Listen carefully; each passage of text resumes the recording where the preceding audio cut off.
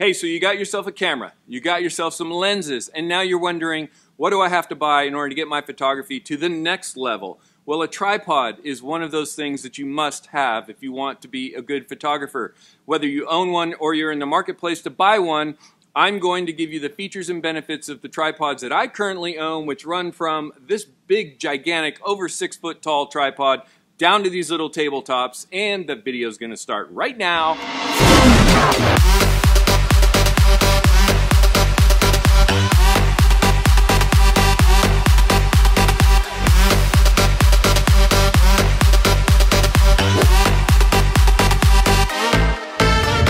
Hey everybody, my name is Sean Seymour and it's about a day or two after I filmed this video for the first time. It's all about tripods. It's all about the features to look for in tripods. But one of the things happened to me that hasn't happened before is this got really long. So I cut and I cut and I cut and what I realized is I couldn't cut anymore without taking information away that someone who hasn't purchased a tripod or doesn't use tripods a lot might want. So for those of you that are just interested in some specific stuff, I went ahead and I created chapters and timestamps. So the way chapters works there's a red bar down below where you have a red circle and a red bar that you can forward the video. There's little hash marks in there that you can forward to if you're interested in those subjects. Also in the description below, I put some active links so you can just click on where you want to go in the video to listen to the topic that I'm talking about. So hopefully that helps people that have tripod experience, already own a tripod, but they just want to know a couple of things about it. And for those of you that don't have any experience with tripods, I highly recommend that you don't skip because I infuse a lot of my experience with the features that I'm talking about in the video. Hopefully you find this helpful without any more delay. Let's just go ahead and get started. California, and in this video, I'm going to and benefits of tripods and what you should be looking for when you go out to purchase one. If you've already owned one in the past, then you know that it's a necessary piece of equipment. If you don't have one yet, you're probably wondering, should I buy one? How much money should I spend? So a tripod is necessary in photography.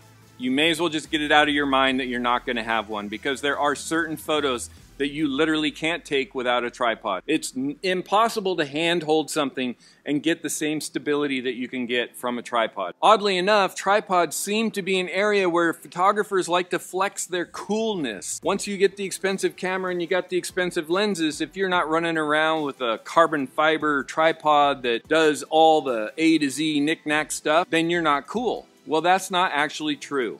As a professional photographer, I can tell you that what the pros do is based on experience, they use what works. And if that's some ugly mug looking tripod like what I've got in the back there that's my workhorse everyday use tripod, then that's what we go to. So what I'm gonna do in this video is I'm gonna go ahead and explain to you the things that I look for in a tripod so that when you are looking at the features of other tripods, without having used them, you can make some judgments of your own. To start off, I wanna mention that this video is going to be mostly about tripod legs. Legs, which means no hat.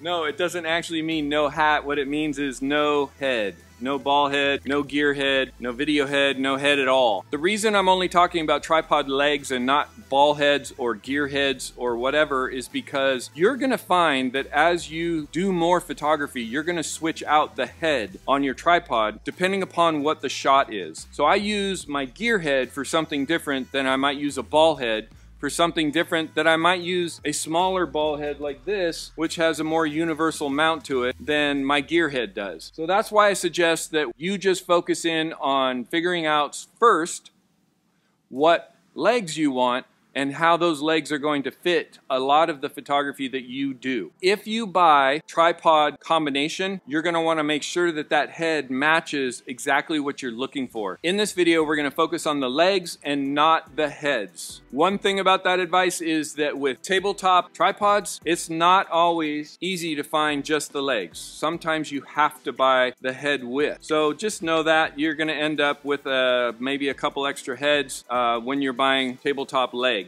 I want to let you know that this video is not sponsored by anyone. I purchased all of this gear with my own money and there is not a single sponsor in this video. One of the questions that you want to ask yourself is what are you going to use this tripod for? Are you going to be shooting pictures in the studio? Are you going to be taking pictures on location? Are you going to be out doing nighttime photography? Are you going to be doing uh, traveling? Are you going to be doing YouTube? How are you going to use this tripod? That would be the first thing to ask yourself because a lot of times the tripod that you pick is going to be really good in one area, but not so good in other areas. Take a look at how you shoot and what you think you're going to do with the tripod, and then use this video to get a gauge of what's gonna work well for you and what won't. One of the questions you're gonna wanna ask yourself is what height of tripod do you want? If I look at this one here,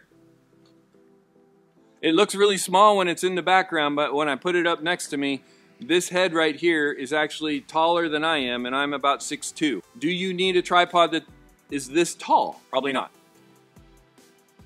Let's pick a basic travel tripod.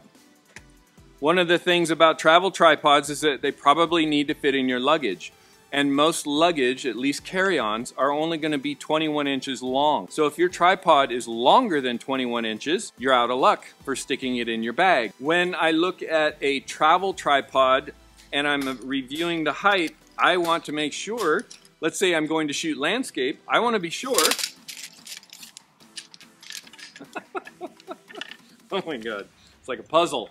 If I'm shooting landscape, I want to make sure that this tripod is at least going to get as high up as as I am. Okay, you don't shoot landscape from two feet off the ground unless it's a very specialized shot. Usually landscape is shot at roughly about chest height eye height, depending on how tall you are. So if I'm using a travel tripod, I don't want it to be something that while it fits in my bag, because my bag is 21 inches long, it doesn't extend high enough for me to actually use it. This one just barely meets the criteria for me. The other thing to check on height is as you go up, you're also going to get more unstable. So this one is rock solid.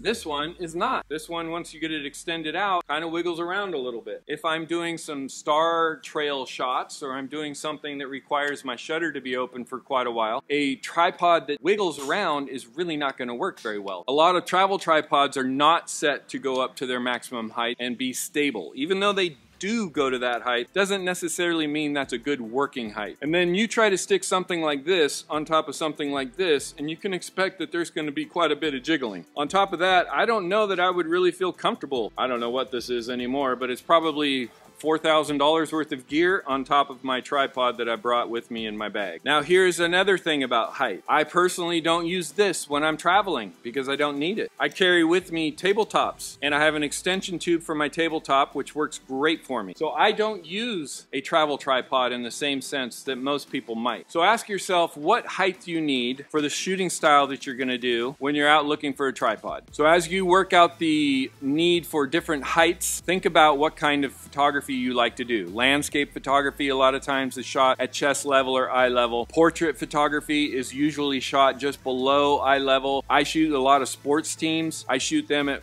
probably four to four and a half feet off the ground. So that tripod that I'm using has to do that very easily. And then if you're doing YouTube or you want to run around as a selfie stick or whatever, you need to have a tripod that is lightweight and gets that height when you put it on a table to do your YouTube video. So ask yourself what height you think is going to work for you for the style of photography that you're shooting. Let's talk about legs. I don't know how that even popped in my mind. A little salt and pepper. Let's talk about legs. First thing you want to ask yourself about legs is how many sections do you want? As you can probably imagine, each section can't go any smaller than its actual physical length. So in other words, if I have a section right here that's one foot, I can't get this thing any smaller than one foot. There's no physical way I can do that. So sections allow you to have a tripod like this that is a smaller tripod, but when I open up, and I'm just gonna open up the one leg, so I quite frankly find this thing a pain in the butt to work with, but, but now you see I've got this is why I don't like this tripod because you really have to crank on these things to get it to stay. Okay, so five sections. When you get more sections, you're gonna have a lot more turning, a lot more setup. You're gonna have a lot more where you can be off level.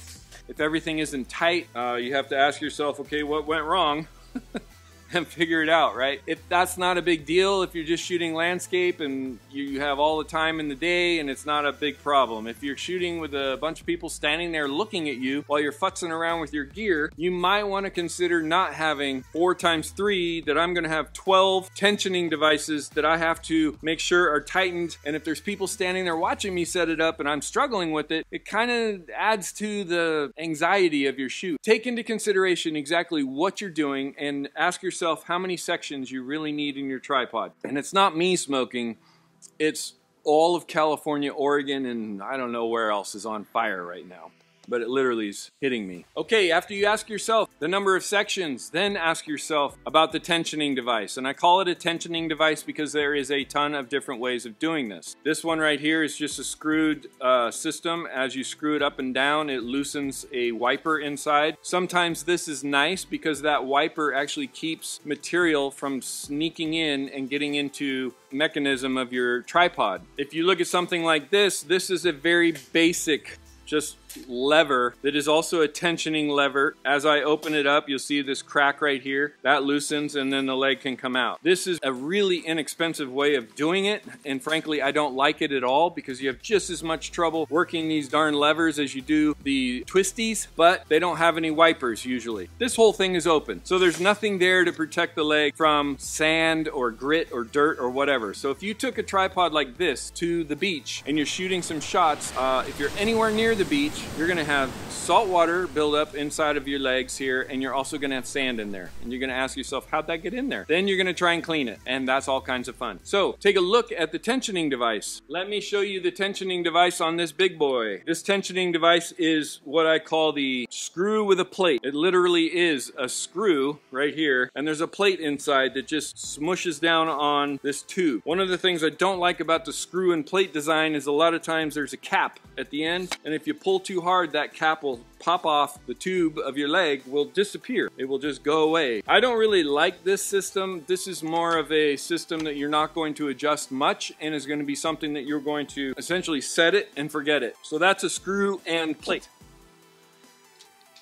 Last one that I want to talk about, frankly, is my, my dream tripod. is just simply a tensioning system that has a lever that you push and the legs automatically come out. So it works something like this, where I push the lever and the legs pop out and I'm done. I don't have to do anything else. It's already set. All I have to do is spread the legs to wherever I want them and I'm done. I personally use this all the time because in the studio, on location, whatever, it weighs as much as a tank and that system is part of the reason it weighs so much. But for me, that weight has some benefits, which I'll talk about here in a minute, and it makes it super fast to set up. So I'm not futzing around with my tripod trying to get it ready, put a camera on it, get my camera ready, do all those other things I have to do to shoot. Last thing I want to do is mess with legs on my tripod and the tensioning part of that, getting it level and making sure they're tight enough that they're not going to slip. That's probably the least fun on a shoot is when you've been doing some shots and one of your legs on your tripod slips. The other question to ask yourself about legs is can the legs spread and how do they spread? There are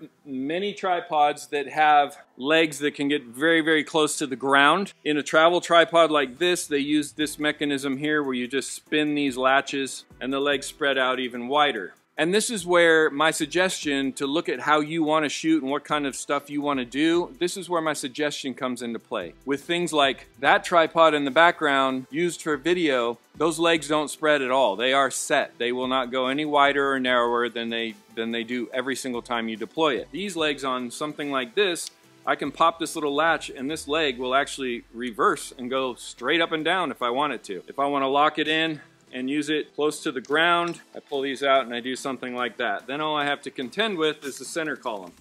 I do not like this tripod. this would be a great example of a tripod that I bought and then immediately went right into the gear pile. Got a lot of features, but none of them are very practical for me. Here's another example of legs being just sounds so bad. Here's another example of a tabletop tripod that has legs that spread. I just simply click these little latches on the side and then the tabletop tripod will get very low because the legs will spread out. So that's a nice feature to look for. Now here's a kind of unique way of doing legs. This is meant to be a selfie stick, it's meant to be a tripod, and it's meant to just be handheld. There's a locking mechanism down at the bottom here and the legs pull down like this and then I lock that locking mechanism and then the legs come up like that and it's nice and stable. These legs don't actually spread any further than this and they don't offer a different platform than that. But if I want the legs to go all the way down and use it as a selfie stick, that's all I have to do. Put the legs down and I hold on to it as a selfie stick. Kind of cool. Again, ask yourself why and what you need a tripod to do and that will answer a lot of these questions for you. One more example of legs. This is another tabletop tripod. These legs are designed to just fold out and lay flat like that. This is more of a handle than it is meant to be a tripod, but it works great as a tripod as long as you don't need any adjustability in the height or adjustability in the leg width. You can see that, that spreads out pretty good